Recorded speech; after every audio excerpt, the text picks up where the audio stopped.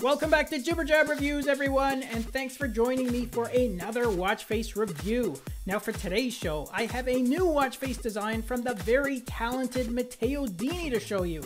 This one is an all digital watch face, which has both modern and retro styling cues to it, so I'm really excited to not only show you this one in more detail, but the developers also provided me with 10 coupon codes to give away, so make sure you participate in the contest by leaving a comment below because anytime you can add a Matteo design to your collection for free really is a bonus, and this one really is a striking piece. Alright guys, I am really digging this new design. It's actually a very clean and simple layout. But that large LED panel, as well as the bold and contrasting display frames around it, really makes for an attractive design here, and it's also an easy one to read the time on because those retro style digits for the time are quite large, and Matteo gave lots of empty space around those digits so that they contrast nicely against the colors of that LED panel. And by the way, the theme choices you have for that LED panel vary from solid to multi-tone varieties, so you get a good mix of colors here too.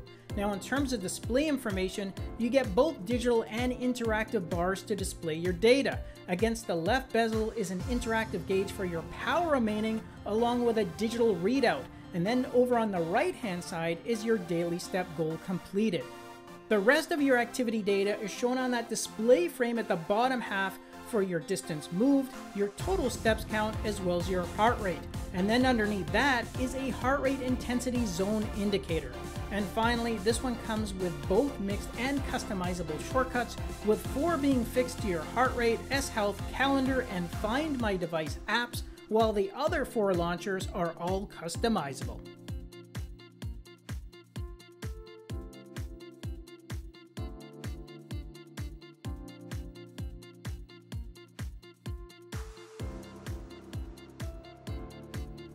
Okay guys, that's my review of this new design from our friend Matteo Dini called MD244.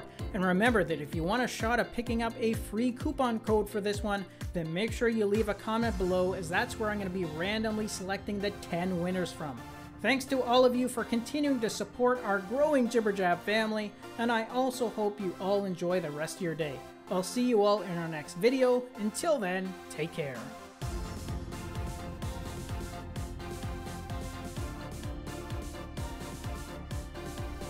Thanks again for watching our review, and if you liked it, then show us some love with a thumbs up, subscribe to the channel, and share the video with your friends because with your support, it really helps me keep the channel going so I can continue to offer you guys discounts, giveaways, and of course, fresh content. I'll see you in the next episode. Until then, take care.